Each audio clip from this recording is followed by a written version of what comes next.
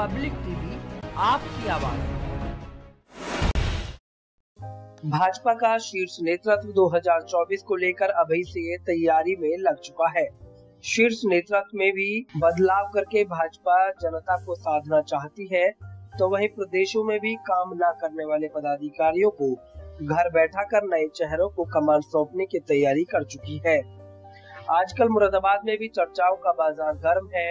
जहाँ देखो वहाँ बस संगठन में बदलाव की चर्चाएँ लखनऊ से लेकर मुरादाबाद तक आम हो रही है। महानगर में भी जल्द संगठन में बदलाव की आशंका जताई जा रही है।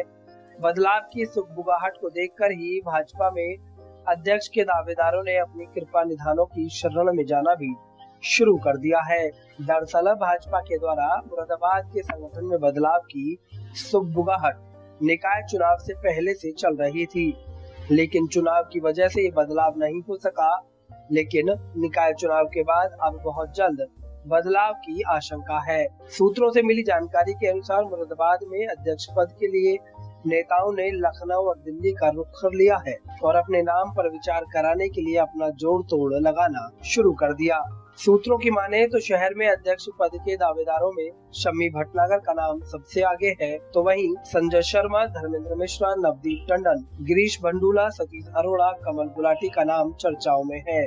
इसके अलावा कई नाम ऐसे हैं जो गोपनीय तरीके से अपने नाम को आगे बढ़ाने में लगे हैं। आजकल राजनीतिक गलियारों में ये नाम तेज़ी से चर्चाओं में है। अब देखना है कि सूत्रों से मिली जानकारी के बाद किस नाम पर संगठन अपनी मोहर लगाता है।